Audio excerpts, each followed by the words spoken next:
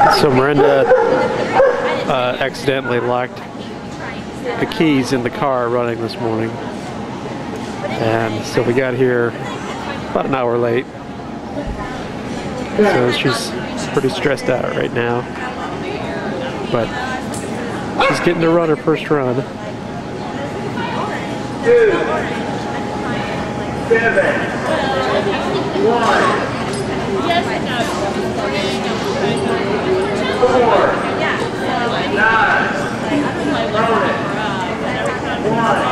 Looks like he's having a pretty good run.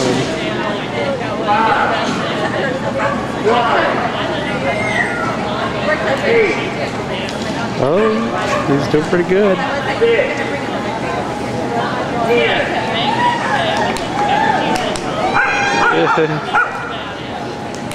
Looks like he had a pretty good run.